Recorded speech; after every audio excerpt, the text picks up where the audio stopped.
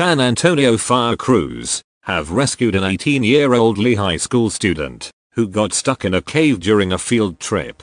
It happened just before midnight Thursday, after she was trapped more than 10 hours. The teen was with a group of students on a field trip when she somehow got stuck in a narrow area called the hole in the floor.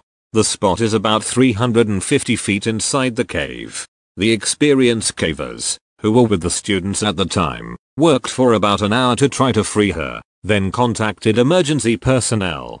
Those crews were able to reach the girl and kept her warm and hydrated throughout the ordeal. She didn't appear to be hurt, but was brought to a hospital as a precaution. Rescuers gradually chipped away at the rock around her and took steps to make sure she didn't slip further into the rock formation, which could have impeded her breathing.